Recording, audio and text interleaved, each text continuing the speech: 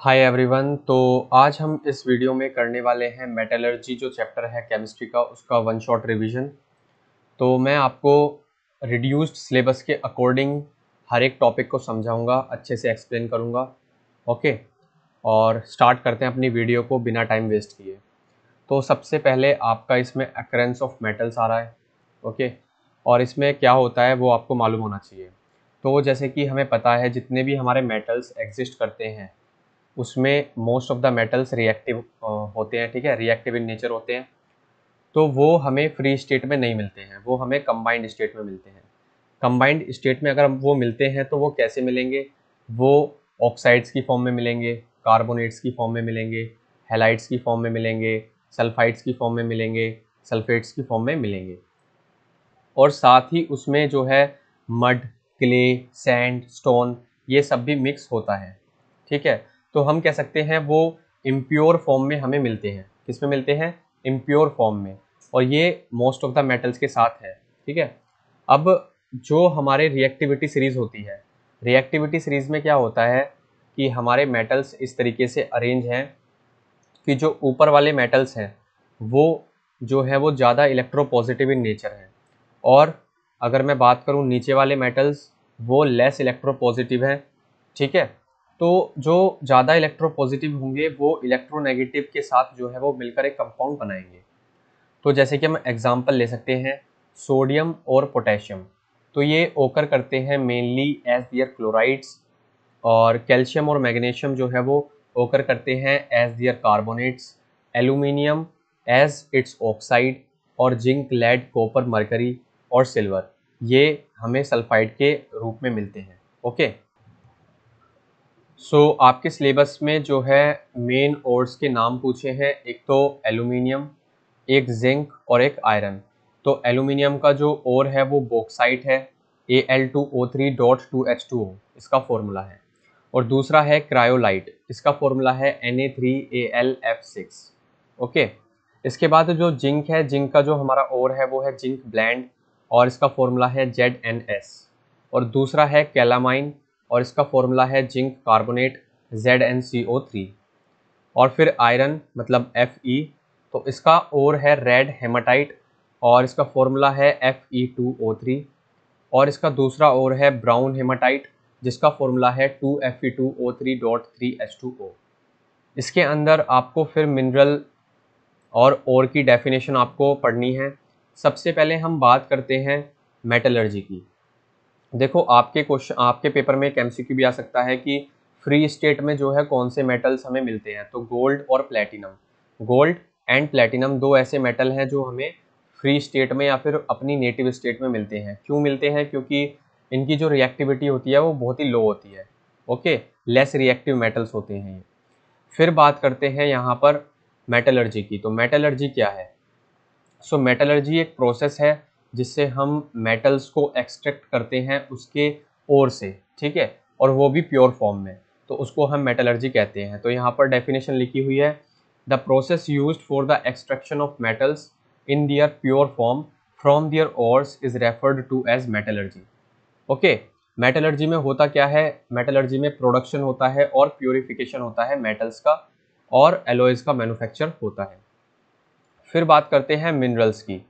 तो मिनरल्स क्या होते हैं? मिनरल्स होते हैं हमारी naturally occurring compounds of metals which are generally mixed with other matter such as soil sand limestone and rocks are known as minerals okay इसके बाद हमें पढ़ना है ओर तो ओर्स क्या होते हैं? वो देख लेते हैं। उससे पहले हम यहाँ पर कुछ हमारे टर्म्स हैं, जैसे कि गैंग है।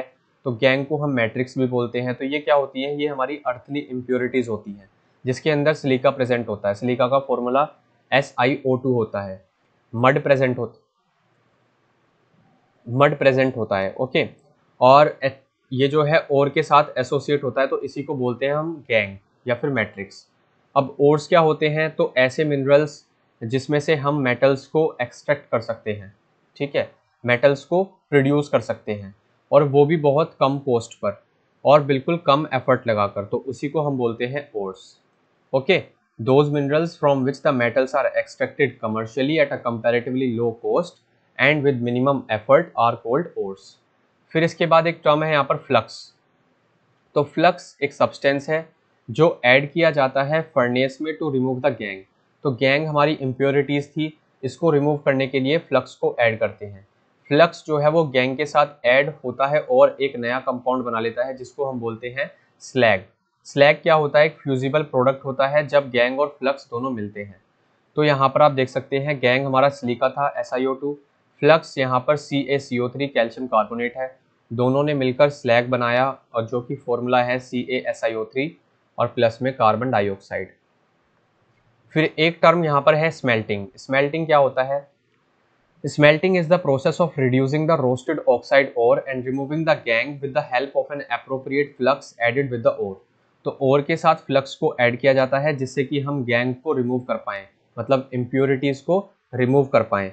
और ये प्रोसेस होता है ऑक्साइड मतलब रोस्टेड ऑक्साइड को रिड्यूस करने का। रोस्टेड का मतलब होता है ऑक्सीजन की प्रेजेंस में जब रिएक्शन होता है ओके फिर हम बात करते हैं, ये ऑक्साइड और को रिड्यूस करता है मेटल्स में, उनकी मोल्टन कंडीशन में। मोल्टन मतलब हम कह सकते हैं गर्म या फिर वो पिघला हुआ, ठीक है?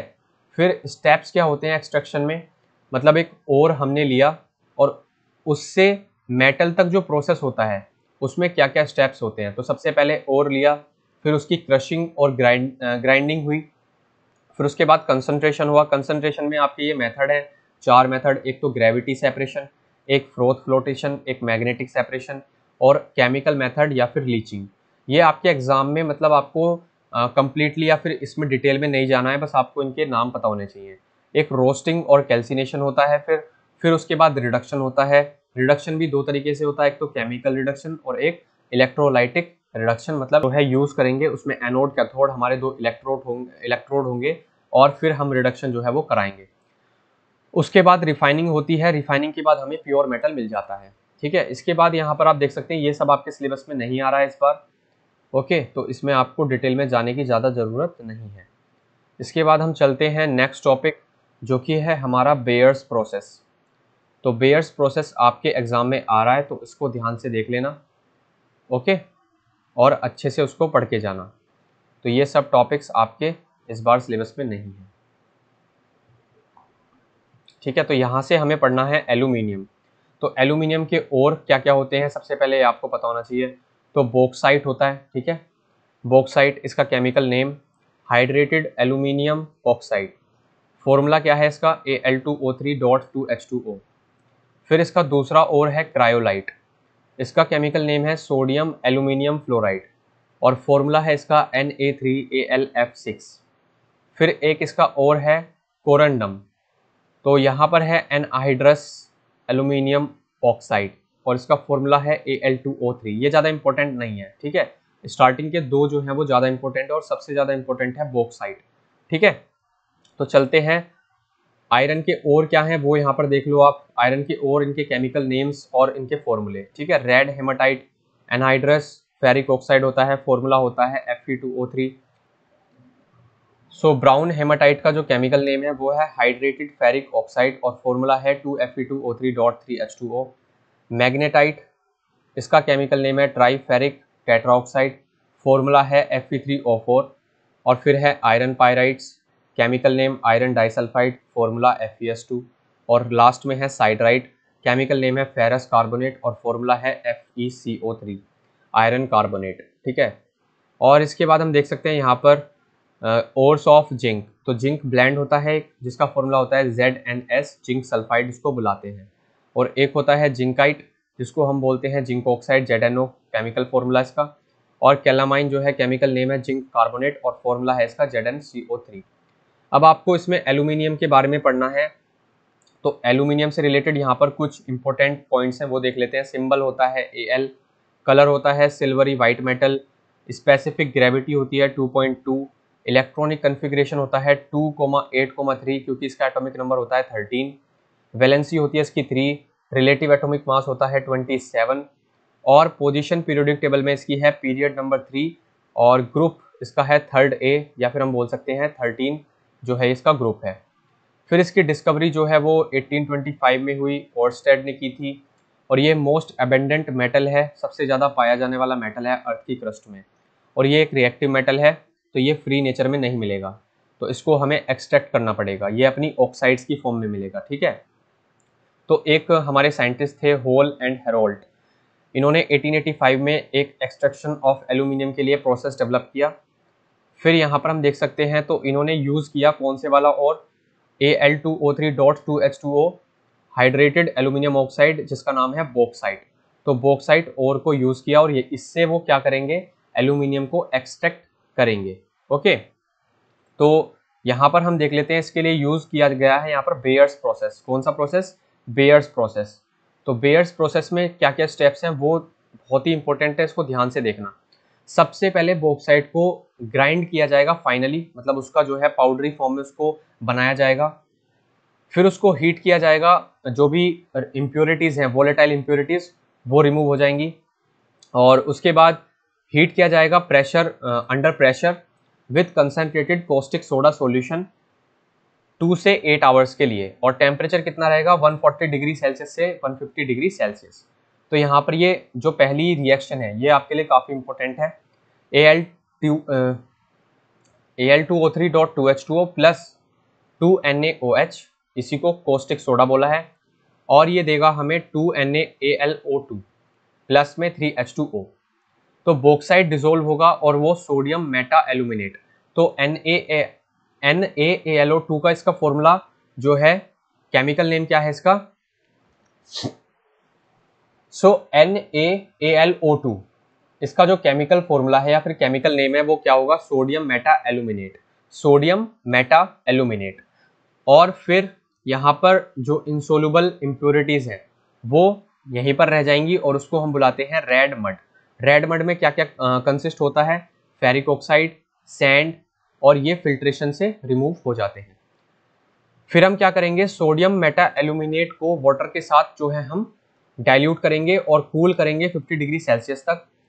And it gets hydrolyse to give aluminium hydroxide as a precipitate तो यहाँ पर हमें एक प्रेसिपिटेट मिलेगा A L O H whole thrice ठीक है, इस फॉर्म में। तो यहाँ पर जो रिएक्शन है वो ये है sodium meta aluminate two plus two H two O और यहाँ पर हमें रिएक्शन मिलेगा sodium hydroxide plus aluminium hydroxide और ये प्रेसिपिटेट है। अब इस प्रेसिपिटेट को हम हीट करेंगे थाउज़ेंड डिग्री सेल्सियस तक। तो यहाँ पर हमें मिलेगा A L two O three plus three H two O और इसी को हम बोलते हैं A L two O three को ही एलुमिना क्या बोलते हैं? एलुमिना एल्यूमिनियम ऑक्साइड को रिड्यूस करेंगे और इसके लिए हम जो रिड्यूसिंग एजेंट लेंगे वो कार्बन हो सकता है, ठीक है? कार्बन मोनोक्साइड हो सकता है और हाइड्रोजन हो सकता है। फिर इलेक्ट्रोलाइटिक रिडक्शन जो है वो चूज़ किया जाता है as the method of reducing alumina तो यहाँ तक हमारा एलुमिना जो है वो बन जाता है। फिर हमें एल्यूमिनियम बनाने के लिए या फिर हमें मेटल जो चाहिए, उसके लिए हम इलेक्ट्रोलाइटिक रिडक्शन का यूज़ करेंगे। ओके तो हम चलते हैं इसके बाद इलेक्ट्रोलाइटिक रिडक्शन के लिए। और यहाँ पर जो प्रोसेस का नाम है, वो आपको याद रखना है और इसको अच्छे से पढ़ना भी है। तो इसका नाम है होल हेरोल्ड्स प्रोसेस ओके तो इसका नाम है होल हेरोल्ड्स प्रोसेस तो इसमें क्या होगा? इसमें आपको इलेक्ट्रोलाइटिक सेल लेना है। ठीक है? रेक्टेंगुलर आयरन टैंक है और जिसमें स्लॉपिंग बॉटम है। Sloping bottom of the tank facilitates the removal of the molten aluminium sloping मतलब जिससे कि अच्छे से फ्लो हो जाए, ठीक है? स्लॉप ओके इंक्लाइंड वे में जो बना हुआ है वो। फिर जो टैंक है, उसमें एक गैस कार्बन की लाइनिंग है। इलेक्ट्रोलाइट क्या यूज़ किया है? It is the mixture of molten alumina twenty percent molten alumina है। सिक्सटी परसेंट क्रायोलाइट है। क्रायोलाइट का भी मैंने आपको फॉर्मूला बताया था ऊपर। एंड फ्लोर स्पार है, ट्वेंटी परसेंट फ्लोर स्पार है। पाउडर्ड कॉक जो है वो स्प्रिंकल किया जाएगा इलेक्ट्रोलाइट के सरफेस के ऊपर। टेम्परेचर 950 डिग्री सेल्सियस रहेगा और वोल्टेज जो है वो 5 टू 6 वोल्ट्स रहेगी। ए लो वोल्टेज जो है वो यूज़ की जाती है किस लिए? जिससे कि डिकम्पोजिशन ना हो जाए। दो अलग अलग एलिमेंट्स में या फिर दो अलग अलग कंपाउंड्स में ब्रेक हो जाता है तो उसी को हम बोलते हैं डिकम्पोजिशन तो इसको बचाने के लिए लो वोल्टेज रखी जाती है। यहाँ पर आप देख सकते हैं एक्सट्रैक्शन ऑफ़ एल्यूमिनियम के लिए डायग्राम काफ़ी इंपॉर्टेंट है, इसको ध्यान से देख लेना, ठीक है? यहाँ पर कैथोड है माइनस में और यहाँ पर प्लस में जो है एनोड है, जो कि हमारी ग्रेफाइट यहाँ पर यूज़ की है, ठीक है? कार्बन ग्रेफाइट यहाँ पर कार्बन की लाइनिंग जो है वो कैथोड की की गई है इलेक्ट्रोलाइट इसके अंदर है और यहाँ पर टैप है टैप होल फॉर एल्यूमिनियम यहाँ से एल्यूमिनियम को इकट्ठा किया जाएगा, ठीक है? कलेक्ट किया जाएगा। फिर यहाँ पर रिएक्शंस हैं। तो पहला रिएक्शन है क्रायोलाइट तो N A three A L F six तो इसमें जो रिएक्शन होगा वो ये होगा three N A positive plus A L three positive plus six F negative तो यहाँ पर सब सोडियम के आयंस बन जाएँगे एल्यूमिनियम के आयंस बन जाएँगे और यहाँ पर फ्लोरीन के आयंस बन जाएँगे। फिर नीचे है फ्लोर स्पार इसका फॉर्मूला होता है सी ए एफ़ टू मतलब कैल्शियम फ्लोराइड तो इसका जो यहाँ पर रिएक्शन बनने वाला है वो भी आप ध्यान से देख लेना C A two positive plus two F negative और फिर यहाँ पर alumina A L two O three तो ये टूटेगा two L two A L three positive plus three O two negative positive ions जो बनते हैं सॉल्यूशन में, वो कौन कौन से हैं? N A positive C A two positive A L three positive और नेगेटिव आयंस जो है वो हमारे एफ़ नेगेटिव और ओ टू नेगेटिव मतलब फ्लोरीन और ऑक्सीजन के बनेंगे. एल्यूमिनियम जो है वो इलेक्ट्रोकेमिकल सीरीज़ में नीचे है तो वो प्रिफरेंशियली डिस्चार्ज होगा कैथोड पर वाइल ऑक्सीजन जो है, वो एनोड पर होगा। तो इलेक्ट्रोकेमिकल सीरीज़ में जो नीचे होता है, वो डिस्चार्ज होता है सबसे पहले, ऊपर वालों से, ठीक है? तो जो पॉजिटिव वाले हैं, वो नेगेटिव की तरफ़ जाएँगे और जो नेगेटिव वाले हैं, वो पॉजिटिव की तरफ़ जाएँगे। इसके बाद हम यहाँ पर देख सकते हैं तो कैथोड पर जो रिएक्शन होगा एल्यूमिनियम यहाँ पर जो है, वो कलेक्ट हो जाएगा। तो A positive plus twelve electron जो है, वो ऐड किए गए तो यहाँ पर हमें फोर ए मिल जाएँगे मतलब एल्यूमिनियम के चार आइटम मिल जाएँगे। फिर एनोड तो एनोड जो है वो हमने thick rod of graphite use की है और यहाँ पर कौन कलेक्ट होगा? ऑक्सीजन तो six O two negative minus twelve electron तो यहाँ पर हमें सिक्स ऑक्सीजन के एटम मिल जाएँगे। फिर यहाँ पर जो ये सिक्स ऑक्सीजन के एटम है, ये थ्री थ्री थ्री में ब्रेक होकर हमें थ्री ओ टू दे देंगे, ठीक है? एनोड जो है वो ऑक्सीडाइज होता है टू कार्बन मोनोक्साइड ठीक है? कार्बन मोनोक्साइड हमें मिलता है। फिर वो बाद में कार्बन मोनोक्साइड जो है वो कार्बन डाइऑक्साइड फॉर्म करता है। एनोड को हमें टाइम टू टाइम रिप्लेस करना पड़ेगा बिकॉज़ वो ऑक्सीडाइज होता है। किसकी वजह से? ऑक्सीजन की वजह से जो कि एनोड पर इवोल्व होती है। तो इसलिए इसको टाइम टू टाइम हमें रिप्लेस करना पड़ता है। ओके फिर यहाँ पर इतनी इंपॉर्टेंट चीज़ें नहीं है। सो so, यहाँ पर नोट दिया हुआ है अगर आपके एग्ज़ाम में आए कि क्रायोलाइट का यूज़ क्यों किया है तो यहाँ पर सीधा आंसर हो जाएगा कि ये कंडक्टिविटी को एनहेंस करता है। फ्लोर स्पार और cryolite fluor spar and cryolite ये दोनों एक्ट करते हैं एज अ सॉल्वेंट किसके लिए? इलेक्ट्रोलाइटिक मिक्सचर के लिए। और ये कंडक्टिविटी को इंक्रीज करते हैं। ओके फिर यहाँ पर पाउडर्ड कोक जो हमने स्प्रिंकल किया था इलेक्ट्रोलाइट के सरफेस पे, वो किस लिए यूज़ होता है? तो वो रिड्यूस करता है हीट लॉस बाय रेडिएशन और वो प्रिवेंट करता है बर्निंग ऑफ़ एनोड ठीक है? इसके बाद आपका यहाँ पर हुप्स प्रोसेस नहीं आ रहा है पेपर में। सो so, इसके बाद आपको जो है इसमें ज़्यादा कुछ नहीं पढ़ना है। ठीक है? इस वाले पार्ट में एल्यूमिनियम में। तो आपको यहाँ पर ये फ्लो चार्ट दिख रहा है इससे भी आप समझ सकते हैं। सबसे पहले आपको ओर लेना है। कौन सा ओर लेना है? बोक्साइट फॉर्मूला क्या होता है? A L two O three dot two H two हो। फिर यहाँ पर कंसनट्रेशन करेंगे हम एच का यूज़ करेंगे, ठीक है? जिससे हम A L two O three मतलब एलुमिना जो है वो हम फाइंड करेंगे या फिर हम कह सकते हैं उसको फॉर्म करेंगे। तो यहाँ पर तीन रिएक्शंस होते हैं, वो तीनों आपको याद करने हैं, बहुत ही इंपॉर्टेंट हैं। सबसे पहला A L two O three dot two H two O plus two H temperature कितना है?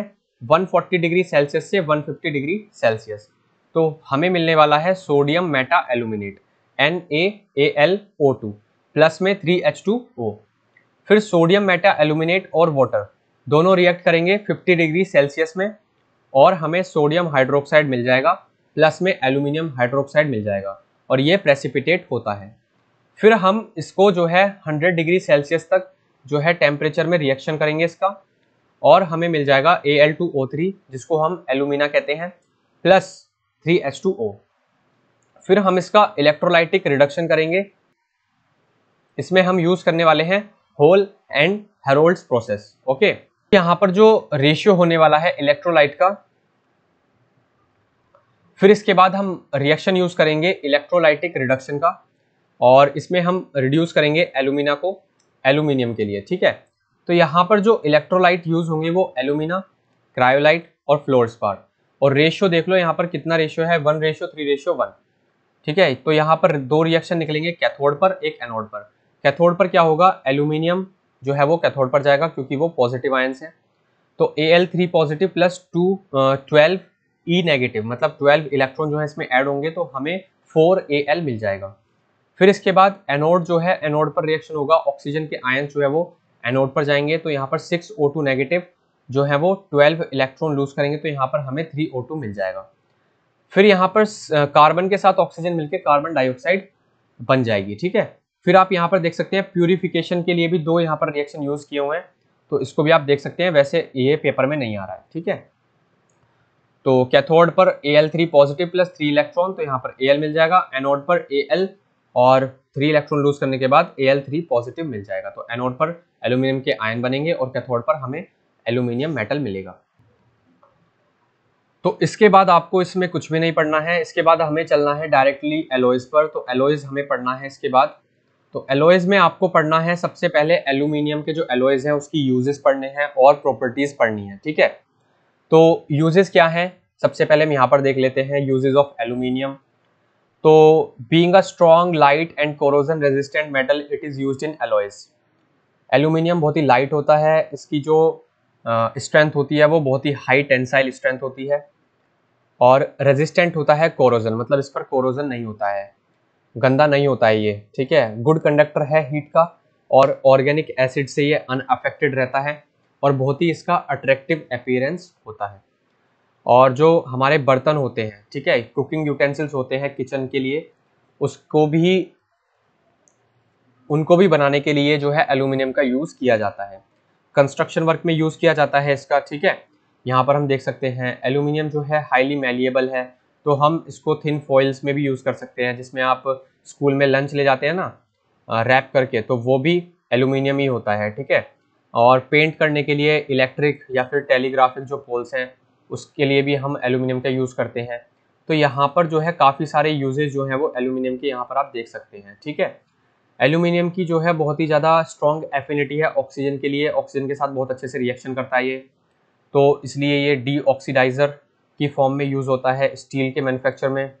फ्लैश बल्ब्स बनाने के लिए फोटोग्राफी के लिए, ठीक है? और सर्टेन एक्सप्लोजिव्स बनाने के लिए भी यूज़ होता है। फिर ये एक्सेलेंट रिफ्लेक्टर है लाइट का तो मिरर्स बनाने के लिए भी यूज़ होता है। फिर गुड कंडक्टर है इलेक्ट्रिसिटी का तो केबल्स पावर ट्रांसमिशन उसके लिए भी यूज़ होता है। और एल्यूमिनियम जो है वो अनअफेक्टेड रहता है सी वाटर से तो इसलिए जो शिप्स हैं, वो भी एलोइज ऑफ़ एल्यूमिनियम से बनाए जाते हैं। फिर यहाँ पर और काफ़ी सारे प्रोसेस है, वो आप देख सकते हैं, ठीक है? नेक्स्ट हमें चलना है एलोइज ऑफ़ एल्यूमिनियम पर, ठीक है?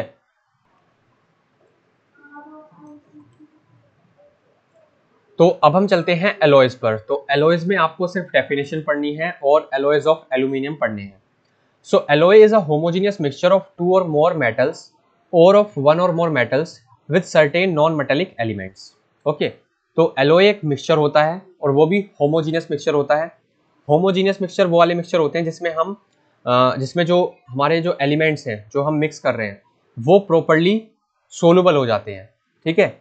इसमें हम डिफ्रेंशिएट नहीं कर पाते हैं कि इसके अंदर क्या है। जैसे कि मैं पानी के अंदर अगर सोल्ट को मिला देता हूँ तो वो क्या हो जाएँगे? वो होमोजीनियस मिक्सचर होगा। ओके तो यहाँ पर एलोए जो है वो दो से या फिर दो से ज़्यादा मेटल्स का मिक्सचर होता है। तो इसमें आपको डेफिनेशन पढ़नी है उसके बाद आपको एलोए ऑफ़ एल्यूमिनियम पढ़ना है उसकी प्रॉपर्टीज़ पढ़नी है। ओके तो चलते हैं हम आगे। ओके सो so, यहाँ पर हम देख सकते हैं एल्यूमिनियम तो एल्यूमिनियम के जो एलोय हैं सबसे पहला है हमारा डुरेलुमिन ठीक है, डुरेलुमिन। और यहाँ पर कंपोजिशन कितनी है? 95 परसेंट इसके अंदर एल्यूमिनियम है 4 परसेंट कॉपर है 0.5 परसेंट यहाँ पर मैग्नीशियम है और 0.5 परसेंट यहाँ पर मैंगनीज है। प्रॉपर्टीज़ क्या है? ये बहुत ही लाइट होता है बट स्ट्रोंग होता है बिल्कुल स्टील की तरह। ठीक है सेकंड क्या है? बहुत ही हार्ड है और रेजिस्टेंस है कोरोजन का मतलब इस पर कोरोजन नहीं लगेगा, ठीक है? फिर मतलब ये कोरोड नहीं होगा, ठीक है? फिर ये बहुत ही हाईली डक्टाइल है। डक्टाइल क्या होता है जिसको हम वायर्स में कन्वर्ट कर सकते हैं? ओके सो यूज़ देख लेते हैं हम डुरेलुमिन के। तो डुरेलुमिन जो है वो यूज़ होता है एयरक्राफ्ट में, ठीक है? उनकी बॉडीज को बनाने के लिए बसेस की बॉडीज को बनाने के लिए tube trains light tools pressure cooker ठीक है? तो उसमें जो हमारा एलोय यूज़ होता है वो कौन सा होता है? डोरेलुमिन उसके बाद हम सेकंड वाला देखते हैं मैग्नेलियम ठीक है? हमें क्या देखना है? मैग्नेलियम तो इसमें 90 से 95 परसेंट एल्यूमिनियम होता है और 10 से 5 परसेंट जो है वो हमारा मैग्नीशियम होता है। प्रॉपर्टीज़ क्या है? रेजिस्ट करता है कोरोजन मतलब ये कोरोड नहीं होता है। सेकंड, बहुत ही लाइट होता है और थर्ड, बहुत ही स्ट्रॉन्ग होता है। फिर ये यूज़ होता है एयरक्राफ्ट में, साइंटिफिक इंस्ट्रूमेंट्स में, मेटल मिरर्स में, लाइट टूल्स में, बीम्स ऑफ़ बैलेंस में हाउस होल्ड एप्लियंसेज में। ओके? फिर जो थर्ड वाला हमारा एलोय है वो है एल निको। ठीक है? तो इसकी कंपोजिशन क्या है? इसके अंदर एल्यूमिनियम है निकल है कोबाल्ट है और हमारे पास आयरन है। देन इसकी प्रॉपर्टीज़ क्या है? बहुत ही लाइट है शाइनी है और ये भी कोरोड नहीं होता है मतलब रेजिस्ट करता है कोरोजन को। और यूज़ होता है ये हमारा मैग्नेट्स के अंदर ओके तो फ्रेंड्स आपका इस चैप्टर में सिर्फ़ इतना ही जो है सिलेबस में लिखा हुआ है। आपको सिर्फ़ इतना ही पढ़ना है, इससे ज़्यादा आपको नहीं पढ़ना है। सो आई होप आपको ये चैप्टर अच्छे से समझ आया होगा। और फिर मैं आपके लिए नेक्स्ट जो है चैप्टर लेकर आने वाला हूँ एच ठीक है? हाइड्रोजन क्लोराइड तो उसके लिए आप चैनल को सब्सक्राइब कर लेना और ऐसे ही वीडियोस को शेयर करते रहो और देखते रहो।